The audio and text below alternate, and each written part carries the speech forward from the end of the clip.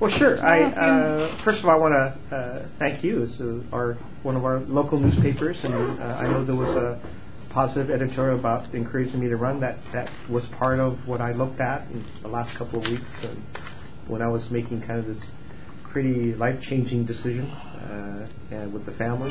Um, And uh, I uh, uh, to tell you that uh, when I changed my mind, I haven't changed the way I do business or the way I communicate with people. It's been 22 years of uh, uh, very high level of dedication to the city and five different departments, and you know I've really felt good about what we've accomplished. Uh, the first seven months, uh, I put my head down. Admittedly, never ever thought about this office of running for mayor. Just wanted to get the job done. We set out some pretty aggressive goals. Uh, $380 million budget gap had to really focus on and make sure we, we covered all the bases for that and keeping an eye on both the state and the feds to see if they're going to impact us in every decision that we make. Uh, introducing, uh, for the first time in the history of the city, a, a, really serious uh, contributing pension reform uh, that will give us about one two, $1.2 billion in the next 10 years that will also be linked to the way we do the budget because it was impacting our budget. And and I got that very clearly from, from the beginning.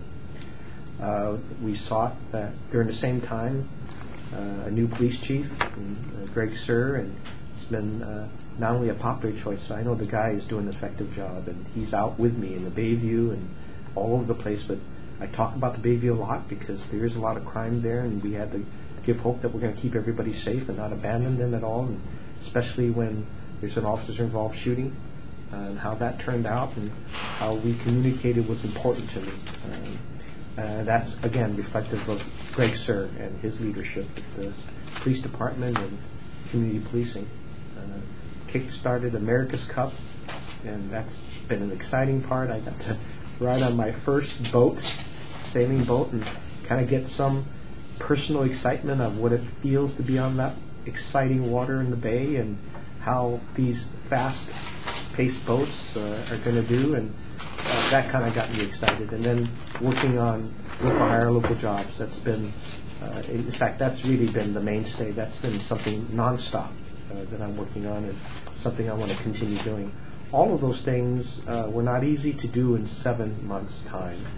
Uh, But I've enjoyed working with the Board of Supervisors in a very cooperative way to uh, get these things done. And then, as I went out and did the 10 town hall budget meetings, as we went out and met with uh, dozens of community-based organizations, from health services to uh, youth programs to the school district, they've all said uh, and complimented that uh, this is kind of almost to them a refreshing way that business is done at City Hall. And uh, they registered that they would like to see this continue. And uh, all of that culminated in the last two weeks of my looking at what we've done, how we felt about it. And, I think uh, that uh, this is really uh, a time when I could be very willing to continue doing this type of work and uh, made that decision and put the papers in yesterday and uh, jumped into the campaign. And despite uh, you know, the challenges of the first campaign debate last night, kind of everybody was welcoming me in.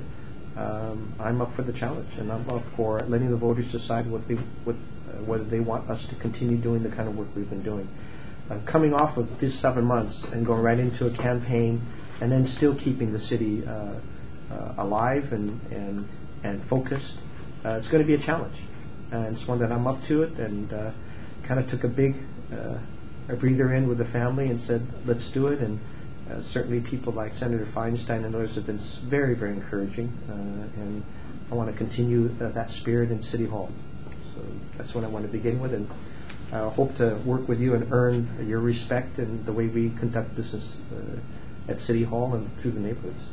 Were you expecting that type of reaction last night? It was pretty, You know, actually, I didn't know what to expect. Uh, and so, therefore, I expected anything and everything. And so it didn't surprise me. Uh, and, and I, you know, I'm, I'm usually a calm person. So uh, I've been through those uh, years where that kind of uh, activity actually occurred at the Board of Supervisors when decisions were being made. And I kind of brought up, says, Jesus, this, it, it's good that we've changed the tone at City Hall, because I, I would not like that to be the way we conduct business at City Hall. At the same time, when you're out in the community, you expect a lot of diverse opinions, and I'm very willing to take those on. But do you think you're going to be able to be as effective? I mean, you say you're talking about the challenges that you've had to face. Now there's a lot of anger both inside City Hall and outside of City Hall. And there's going to be a lot of impediments to try and do, do your, your work from here on. Certainly, and I, and I expect some of that, uh, but also uh, being who I am, and they know me, I haven't really changed the way I do business, and uh, my willingness to get input from everybody, and also work very hard to have one-on-ones with each member of the Board of Supervisors, and I've continued that practice. I'm not going to shy away from that just because a couple, several of them are candidates, including our old city attorney, uh, that we have the professional, high-level responsibility to do the best we can for the city, and I'm going to continue doing that. Uh, Some people may speculate, well, can we get anything done if that's, there's some rankling? I hope to avoid that. I hope to avoid the days in which things did get done because people were yelling and screaming, uh, either obscenities or name-calling as being uh, the decisive uh, announcements of the day, as opposed to, we've announced a new company coming into San Francisco. Someone's going to create jobs. I, I spent uh, a good part of yesterday at Rocket Space, and that just gives me so much enthusiasm that these small startup companies are coming here to the city because they know and they feel there's hope. And they're still looking at and resounding with the Twitter decision that we made. Uh, and then following that with uh, the payroll tax, uh, the stock options decision that we made with Supervisor Mar- Ross Mirkarimi, with the support of the rest of the board, that uh, we were going to exempt uh, those that were uh, about to go public on them, exempt them from the payroll tax with their stock options. Again, both of them, that plus payroll tax have been kind of viewed as job punishers for tech companies. And then to hear these tech companies saying, okay, the message has been sent, we're coming in. Uh, Maybe five or six uh, employees at a time, uh, maybe small, but uh, what we've encouraged in our uh, Office of Economic Development is you start here in San Francisco, you grow, and then you stay here. And this is what I want to see and what I think resonates with people who are looking for these jobs. And uh, I hope to connect that up with as many residents of San Francisco as possible. Mayor, uh, how people judge a candidate often has to do with the company they keep. So I wanted to ask you about your relationship with Willie Brown and what role he played and then counsel he gave you in your decision to be, to run for mayor. Well, certainly, uh, former Mayor Willie Brown has been very encouraging. Uh, And, you know, I count him as a a big supporter, but I also count uh, my uh, relationship with people like Senator Dianne Feinstein is a big supporter as well. And besides him, there are just hundreds of people who have encouraged me to make the right decision here. Uh, And uh, they have been people from the community, uh, people who own small businesses, people who are just workers here in San Francisco, resident association leaders, retired people. Uh, They have all been uh, very positive about me uh, making this change. Uh, Prior to making the change two weeks ago, they were pushing. Uh, When I went out to these uh, meetings uh, in announcing our efforts to put the uh, uh, the pension reform on the ballot and to put street bonds out there and the sales tax. I've been welcomed with people who said, you know, they really like the tone at City Hall and they, they, they want to see more of this. So I count Willie as being one of many supporters. Uh, no more, no less. Uh, he's been very encouraging, uh, but so many other people have as well. And uh, I made the decision based upon a, a balance of everybody's opinion, as I've done throughout my career. Uh, there's no one person dominating of it, but you, you, are- you get kind of rushed when someone like Senator Feinstein, who's still in public office, was a great mayor for this city, kind of says, um, by the way, there's a little duty here. Uh, don't just be selfish about it. Uh, continue what you've always done and put the duty of residents and, and uh, the best of the city forward on this decision. How often do you talk to Willie Brown? Oh, gosh. Uh, you know, I might get his input maybe once every two, three weeks at the most. I mean, he uh, he's busy doing his thing. I'll read uh, uh, his column once in a while when I have time. Uh, I can't read it all the time, so I miss it, especially on the weekends when I'm doing the extra uh, events that I do. But he was played a role in sitting down with Ace Smith, right, in terms of selecting your consultants?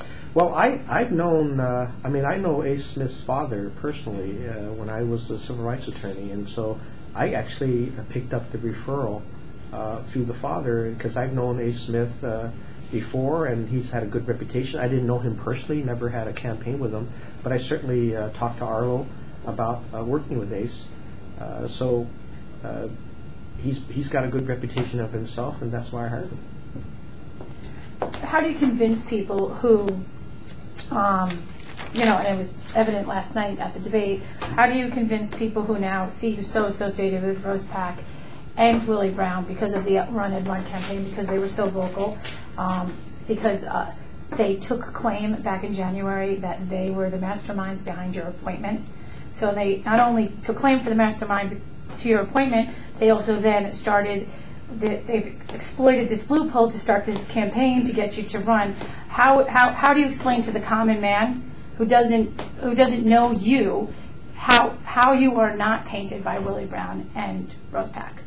Well, uh, as I go out on this campaign, I'm going to talk to everybody, and they, if they have that concern about who I'm uh, working with or for, I'm going to explain that I've spent 22 years, at five different city departments as the heads of those departments, and under four mayors that I've served, including Mayor Willie Brown. That uh, these are years that I've been proud of, and that I've worked on legislation. I've advised mayors. I've been the city administrator for five years, up for another five-year appointment uh, confirmed by the Board of Supervisors, by the way, and uh, I am proud of the record that I have. I've, I've an independent thinker. I've had to be uh, one that's not influenced by any one dominant view, and that uh, they also know me, and I think a lot of residents know me as the former director of Public Works. That was the hardest job I ever had, perhaps second to this. but that job was hard because we were changing to district representation at the time in the year uh, uh, 2005. I'm sorry, 2000, when I started at DPW. And uh, I had to appeal as a bureaucrat to all of the different districts of the city, uh, telling them how we were going to deliver services directly to them and make sure that they had the confidence that Public Works was going to help them keep streets clean, uh, get graffiti off of them, create new programs while the budget uh, wasn't there, uh, and resonate with all the uh, residents that uh, they can count on DPW to deliver services. In that background, I haven't changed at all, uh, and I want to continue that level of concentrated focus on all of the neighborhoods. And so I will tell people what I've done, what I continue doing. They know me uh, also if they paid attention the way we've done the budget. I held uh, 10, no less than 10 budget town hall meetings. They've seen me in action. They've seen me take input uh, from all of the neighborhoods and then make a responsible decision. And they like the decisions that we made. Uh, I balanced that budget with the help of the Board of Supervisors, with a lot of input, knowing that we're going to have to make serious cuts. And they understood that what we were doing in that budget was working with them about what the most critical priorities of the city were and having that reflected in what we funded in the budget. And Mayor, speaking of the Department of Public Works, a lot of people are taking shots at, at your record now, now that you're running. Um, I've got a letter here from Judge Quentin Kopp's, the U.S. Attorney, requesting an investigation over uh, the, the Recology uh, Run Ed Run matter, but also something from back in 2001 where uh, you were Director of Public Works. Your staff recommended that there be a 20% hike in uh, rate for NorCal, the parent company, and that uh, ultimately a 44% rate increase was approved. Do you remember that situation? Well, I don't know, all- I don't remember all the exact numbers there, but I know uh, Quentin Kopp has been uh, wanting to criticize Recology for some time, and I, uh, I saw him at a neighborhood meeting where he asked me uh, whether I would be supportive of uh, rebidding, you know, the contract. And I've said, and I've said along as a city official, that uh, the Recology contract is not a single person's contract. It is one that is vetted through the Department of Public Health, that issues the permit uh, for any company who wants to serve as both the waste hauler and the recycling company for the city. It's vetted through that. It's also vetted through the Department of Environment to make sure we've done our best in terms of uh, the recycling aspects of it. And then it's vetted through a whole rate board, the rate board that I sat on when I was the Department of Public Works. And the rate board has the responsibility of setting those rates and making sure those rates are competitive with uh, the industry standards throughout the whole Bay Area, making sure that we're not getting gouged in any way. And that's all public meetings that are happening. So we go through a very solid uh, public vetting process for the garbage company contract. And then ultimately, it, it, it is presented to the board of supervisors with all that information and input. So I'm, I'm proud that we've done the best we can to have a competitive uh, garbage and recycling uh, contract in the city. I stand by it because it is uh, one that represents the best interests of the city. It, it has helped us get to a 77% recycling goal, the highest in the nation, one that I'm very proud of, the one I kind of get to brag about when I see Mayor Bloomberg at the Conference of Mayors and Mayor Antonio Villaraigosa, uh, Mayor of Los Angeles, that uh, they, they're a little jealous of us being able to accomplish this. And they know that we weren't able, we wouldn't be able to accomplish it without a great participation from residents who are recycling because of the information we give them, uh, businesses who are very serious about the green waste and, and wanting to contribute uh, to reducing uh, the greenhouse gases by putting less in our garbage company. And the new proposal that we have with landfill, I, I think I'm very proud of that as well because that represents us taking thousands of trips off of the freeway and put it in on rail for the very first time, uh, and having a smaller landfill that will require us to put less into the landfill. To me, those formulas for success of any city, and we're still growing as a city, by the way. We're not shrinking as a city. And that mandate to grow, but also to lessen our garbage uh, and lessen uh, uh, putting uh, stuff in the landfill is a huge challenge. But I know this city and the things that we've done with the Department of Environment in educating uh, residents and educating not only homeowners, residents in public housing, residents who you might think are not paying attention, they're paying attention to it. They want to be part of this great effort. But I think the specific question is, why did you o- go- o- override the recommendation of staff whose back in decision was that? 2001 to du- double the rates that staff No, that was the recommended? decision of the rate board. Okay. Uh, The the rate board has the responsibility of reviewing all the rates and making sure that they're compliant. The rate board is, a- is a group of uh, responsible uh, department heads that have uh, the responsibility of carrying out what's best for the city. So it was, it was up to the rate board, and I was just a member of it. I believe too, at the time, the rates hadn't been raised in years and were far lower than the average in the region and it was necessary to lead to what is now the best recycling rate in the country, noticed. Uh, If you recall at the time, prior to that decision, we had no recycling program. And uh, the company proposed, that we had to review whether or not their recycling program was something that we would want to pay for as citizens. And we ended up saying, uh, we would only pay you if you got those goals done. I think if you look at the rate decision that was made, it's, it's based not upon an automatic rate increase. It's you get the rates if you accomplish these goals. And that's measured every five years. And you don't get a rate increase if you don't meet the goal. So we, we incentivize the company to change their culture because they weren't a recycling company at the time. They were a garbage company. They have become, as a, as, as a reflection of this rate system that we put in, the best recycling company this country has seen because we incentivized them to be that way. We were not letting go our goals just because they were a nice garbage company. We want to incentivize them and change the culture in the city. Do you think companies that break campaign finance laws should be getting city bids, should be getting city contracts? Well, I, I uh, of course not. I mean, I think I think that everybody's got to comply with campaign financing laws, and and everyone should be compliant with the ethics uh, uh, laws that are set out. And so uh, I'm a big supporter as the first whistleblower in the city. People have to comply with every law that we have in the city. And that's the way my campaign is going. We have an independent campaign for mayor, and we're going to be fully compliant with any instruction, any rules that the Ethics Commission and uh, the campaign financing laws require. I'd like to go back to um, the role of Willie Brown. So what role do you see Willie and Brown and Rose Pak playing in your campaign? I see uh, former Mayor Willie Brown uh, as uh, playing a role like any other former mayor would be. There, uh, I, I actually do have kind of a, uh, uh, uh, special calling, if you will, for former mayors, because I will have uh, been faced with major decisions as I did my very second day on the job. I called Sen- uh, Senator Feinstein, and I talked to her about uh, how she handled being interim mayor the last time she was there. It wasn't a call to Willie anybody else, it was called to Dianne Feinstein. Uh, I called Art Agnos, uh, my first mayor who appointed me to my very first position. And we laughed about it. We recalled how it was that said, uh, he said, hey, would you stop suing the city? Come on in and be a man. You know, try to help me run from within. You might find it to be welcoming. You know, 22 years later, I find that the 26,000 employees, they, they all want to do a great job. They need leadership to do it at City Hall and Room 200, but they want to. There, there, there's a very strong feeling among the city employees that I've met.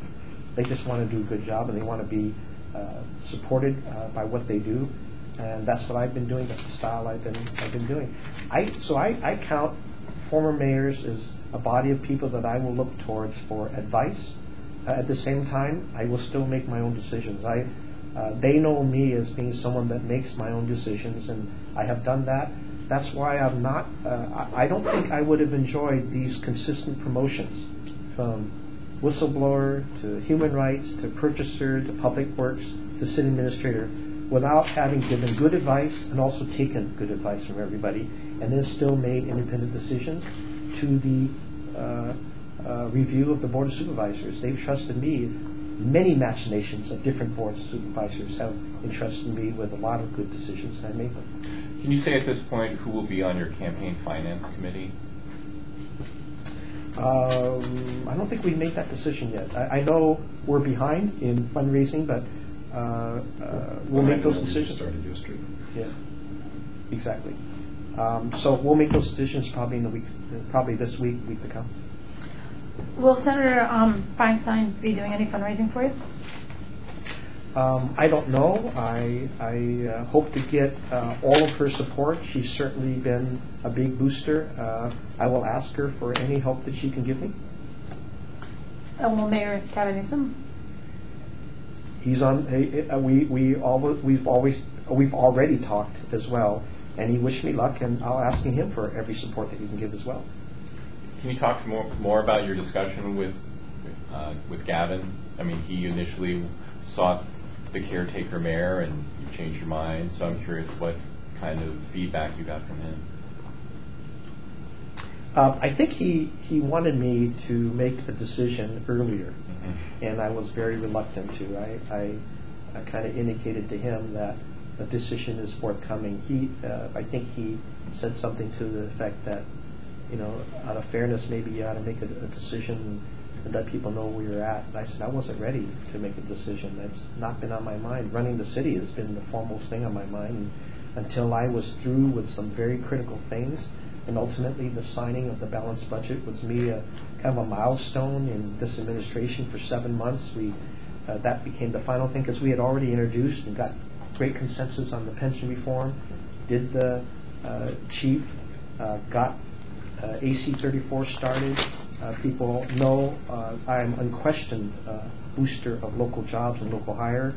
But the budget balancing was something kind of a Chris thing saying, okay, I got a little break. And the board of supervisors is going on a break, so maybe at that point I started saying this is the right time to think about it, especially uh, with uh, uh, a lot of people like Dianne Feinstein saying, hey, it's about time you start thinking about this. But, but Mayor, on that note, all these things that you've gotten done, I believe it's your campaign slogan now, Ed Lee gets it done. Uh, I mean, how much of that would you have been able to get done if you had been running this whole time, if you hadn't made? Well, that's well, that's precisely, I think, the uh, the irony of it. I, you know, I I didn't have uh, any indication at all, uh, nor did I have a desire to be running for mayor when I was getting things done. Now that we have gotten those things done, uh, I I look back and I say, well, is there any regret in the way we did it? No. Do we want to do more of it? Of course. And that's in talking with so many people. They wanted me to consider making that change. I made that change based upon the fact that we've accomplished so much, and we do have a, a very civil tone at City Hall. I hope it not to change. I will work hard for it not to change. The decisions that we make at City Hall, to me, particularly focused on uh, our economics of the city and job creation are ones that I want to continue doing. But the tone and I was think it's ba- worth the it. tone was based on your non-political status. So could you expect that to continue? We hope so. I mean, the business of the city ought to be uh, primarily non-political. It ought to be ones that are focused on getting things done for the citizenry. And when it comes to the economics of the city, I don't think it should be politics. It should, because that's what we're seeing stalemate Sacramento and Washington D.C. It's politics that's stalemating it. And I think the residents of this city want to see a mayor effective in a non-political way, especially when it comes to job creation. Are we doing the kinds of things that make the city welcoming to businesses, welcoming to job creation? We've done that. Uh, again, I was I'm not letting it go. Yesterday I was at Rocket Space. Rocket Space is one of these incubators that have some 80 small companies, companies made up of one or two people, five or six people. They're starting up uh, at that space, and they're wanting to be the next Twitter or the next Zynga. And they're saying "Hey, this city is making some good decisions. We're here because the talent's here. We're looking for uh, innovation. We're looking for a city that welcomes innovation, and we may want to be your next Twitter. And we want, and we feel this is what these small CEOs told me. They said San Francisco seems to be welcoming a lot of this innovation, and they want to be here. And I talked to them about uh, what I did with Twitter. Uh, it wasn't just the talking with the CEOs and the CFOs. When I went to Twitter and visited them, I did something a little different. I asked them if they could leave the room and I can talk to their engineers, the real talent in the room. And, I, and, and so they, they let me do that. And this was before uh, we introduced legislation. So what, what do you want out of the city? What makes you feel comfortable in working in this city? They said they love the cultural diversity. They love the fact that we are uh, uh, a city that uh, is uh, got different modes of transportation. They love the, the arts and the culture. These are the things that attract them to be here in the city because it keeps their minds innovative and, and uh, keeps the talent going. Because of that diversity, I said, well, what do you need from the city? He said, well, surprisingly, he said, well, work with our our company because they're they're making a big decision and uh, see whether or not we could stay. But we also like those bike lanes that you do. Uh, they kind of indicated to me that they like the idea that the city has these different modes of transportation, but specifically bike lane, dedicated bike lanes. Uh, I was surprised and laughing. Is that what you want from the city? Yeah, we want more of that. And by the way, we'll walk you down and let you see where all of our bike racks are. And every floor they had their dedicated bike racks. We don't want to we don't want the hassle of owning cars. That's not our lifestyle. We're not big spenders either. They said You're not, we're not we're not like this dot com boom that occurred back you know in the uh, uh, in the 90s. We're actually we like local pubs, we like local foods, we like the food trucks. Uh, this is all part of kind of their level of creativity and lifestyle. And I got the sense that they wanted to be here a long time and they wanted to enjoy all the things that I kind of like about the city.